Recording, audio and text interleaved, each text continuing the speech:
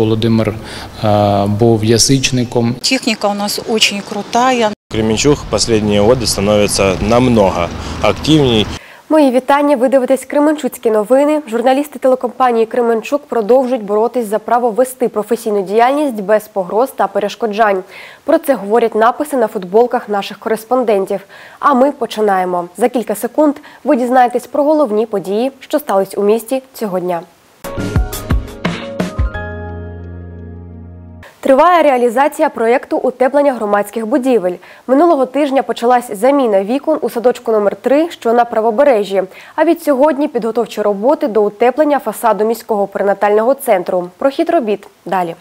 У Кременчуці продовжуються роботи з енергомодернізації громадських будівель. У рамках проєкту у школах, садочках та медичних закладах встановлюються металопластикові вікна і двері, утеплюються фасади та покрівлі, модернізується система вентиляції і опалення. Минулого тижня роботи почалися у третьому садочку. Уже за тиждень робіт виконано дуже багато.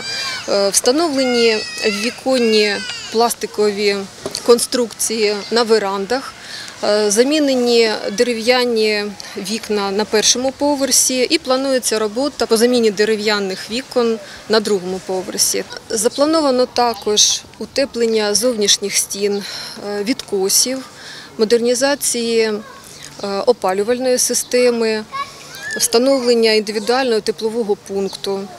Е, Ми дуже раді таким заходам, тому що це створить не тільки комфортні умови перебування дітей, але і заклад буде сучасним.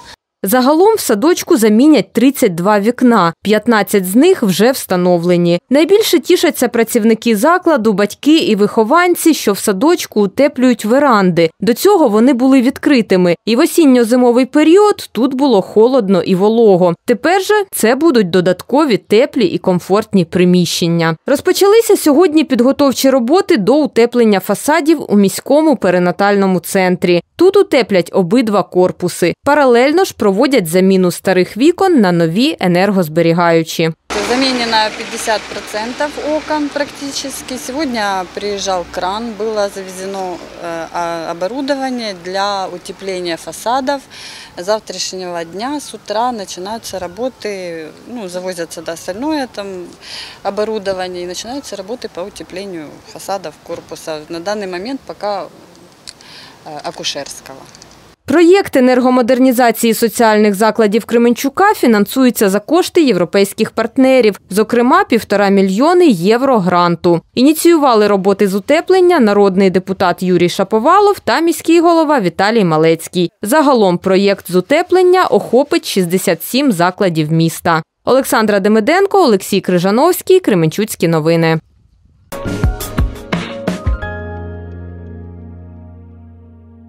Сьогодні одразу в п'яти точках міста комунальники-шляховики проводили ремонтні роботи. На лейтенанта Дніпрова дорожники знімали старий шар асфальту, а на вулиці Троїцькій проводили поточний ремонт. Більше дізнаєтесь у новому сюжеті. Вообще это очень хорошее дело. Я вижу, что техника у нас очень крутая. Саме так Тетяна оцінює роботу комунальної техніки, за допомогою якої шляховики щодня роблять місто кращим. Нові дороги обличчя міста, тому дорожники докладають всіх зусиль, аби Кременчук виглядав якнайкраще. Сьогодні одразу в п'яти точках міста комунальники проводили ремонтні роботи. Зокрема, по вулиці Лейтенанта Діпрова дорожники знімали старий шар асфальту. На сьогоднішній день проводяться роботи зняття старого асфальтобетонного покриття по вулиці лейтенанта Дніпрова. Для виконання даних робіт задіяна двохметрова фреза, бригада робітників, а також трикрази самоскиди. За допомогою спецтехніки дорожники виконували поточний ремонт вздовж вулиці Троїцька. Проводяться роботи з нарізання швів моторезом, видалення прибордюрної кромки за допомогою GCB та влаштування вирівнюючого шару з асфальтобетону. Залучено два самоскиди, два ходки і бригада робітників. Завдяки роботі працівників шляхово-ремонтно-будівельного управління вже незабаром на вулицях Троїцькій та лейтенанта Дніпрова буде нова комфортна дорога. Також шляховики сьогодні ремонтували проїжджу частину на вулицях Залудяка, Шевченка та Європейській. Дар'я Кимець, Олексій Крижановський, Кременчуцькі новини.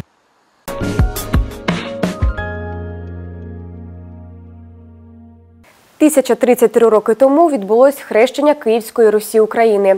Що відомо про таїнство хрещення та яку роль відіграла церква у розвитку держави, дивіться далі. Сьогодні в Україні відзначається офіційне свято День хрещення Київської Русі України. Дата 28 липня лише офіційна. Точного дня започаткування християнства в Київській Русі ніхто не знає. Відомо тільки, що масове хрещення відбулось влітку 988 року. Це свято стосується конкретно нашого українського народу і кожного з нас, зокрема. Це е, велика подія для нас. Це свято несе такий подвійний характер, є і духовний, і можна сказати, і політичний, історичний. Масове хрещення жителів відбулось при впадінні річки Почайни у Дніпро. Після Києва православну віру прийняли інші міста Київської Русі. Це свято стосується конкретного великого народу. Це хрещення Київської Русі, це хрещення маси.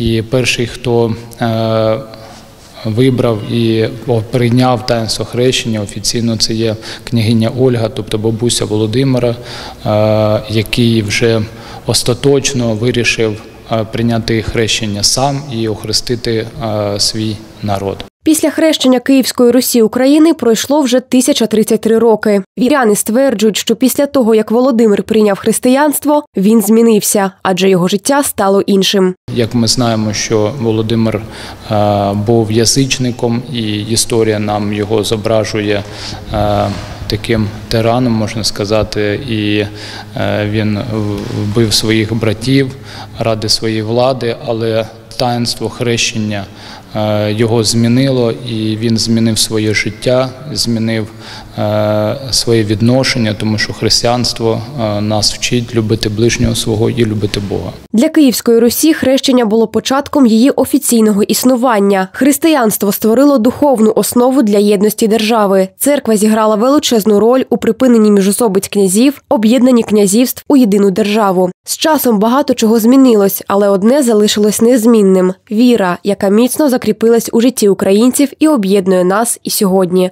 Анна Литвин, Максим Пальчик, Кременчуцькі новини. –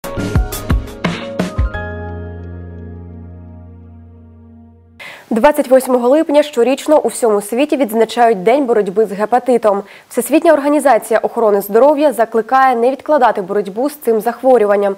Детальніше, що може стати збудником хвороби та як вберегти себе, дивіться у сюжеті.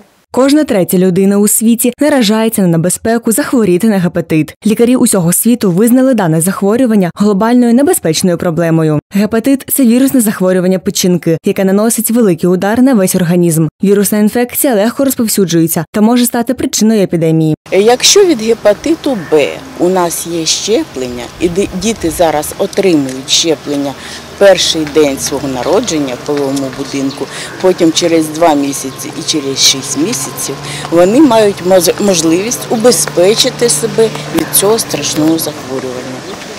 При гепатиті С вакцини не існує. Тому єдиний спосіб, як убезпечити себе від гепатиту С, це здоровий спосіб життя. Мільйони людей можуть хворіти на гепатит С, але не знати про свій статус. Адже гепатит С може проходити безсимптомно, але заражена людина може передавати його іншим. 15-20% випадків зараження людей гепатитом проходить у гострій формі, і ті ж люди найчастіше одужують. Вірогідність захворіти це непредсказуємо, тому що є, є шляхи передачі е, гепатиту Б і С, це тільки через кров, інструментарій, внутрішньоутробну, при переливанні крові, якщо кров не перевірена, і безумовно статевим шляхом.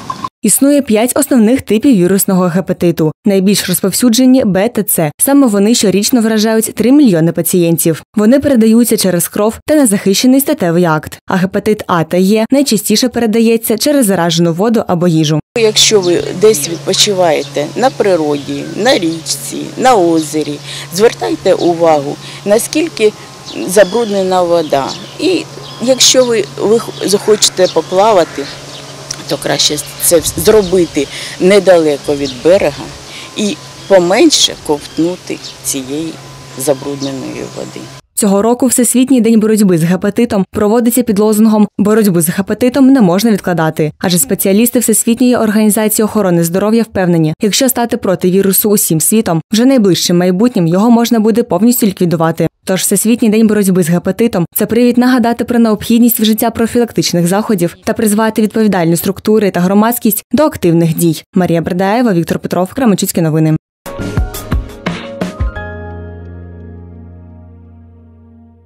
Підтримаємо разом Кременчужанку на Олімпійських іграх. Дзюдоїстка Єлизавета Каланіна виступатиме 30 липня. І всіх Кременчужан кличуть напряму трансляцію двобоїв на площі Незалежності. Кременчуцька дзюдоїстка Єлизавета Каланіна 30 липня вийде на татамі на Олімпійських іграх. На нашу спортсменку чекає важка боротьба. У нее сложная сетка, и ну, на Олимпиаде слабых просто вообще нет. Первую встречу она проведет с Алжиркой.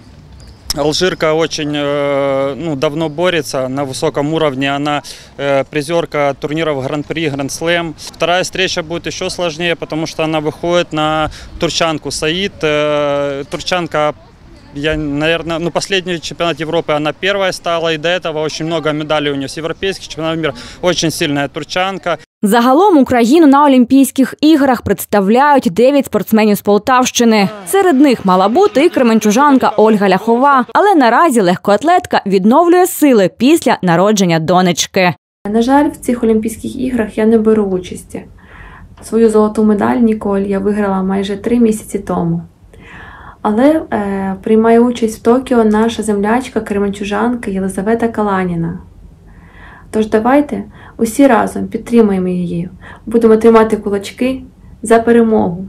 Олімпійські ігри у Токіо через пандемію коронавірусу проходять без глядачів. А для гарного виступу спортсмену необхідна підтримка. Весь Кременчук має об'єднатися задля перемоги Єлизавети. Город э, говорит о том, что Лиза будет бороться, то есть есть фотографии, также Федерация э, дзюдо Украины постоянно выставляет, желает удачи перед каждым днем борьбы.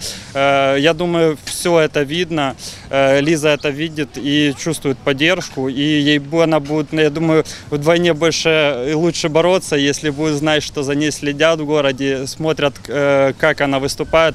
Всіх кременчужан запрошують дивитися пряму трансляцію виступів на площу Незалежності. За київським часом початок попередніх сутичок запланований на пів на шосту ранку. Запрошую всіх мешканців нашого міста підтримати нашу кременчужанку, яка буде виступати на Олімпійських іграх Токіо, Єлізавету Каланіну. Е, Всіх громадян прошу підтримати її. Трансляція буде на цьому великому екрані. Буде всім чудово все видно. Тому хто любить спорт, будь ласка, приходьте. Збірна України з дзюдо вже має бронзову нагороду, яку виборола Дар'я Білодід. Бажаємо перемоги і Єлизаветі Каланіній. Весь Кременчук вболіває за свою спортсменку. Ірина Серегова, Максим Пальчик, Кременчуцькі новини.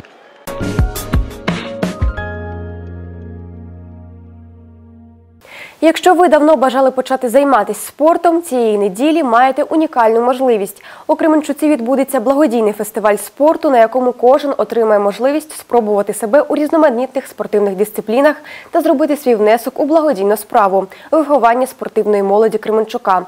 Детальніше у нашому наступному матеріалі.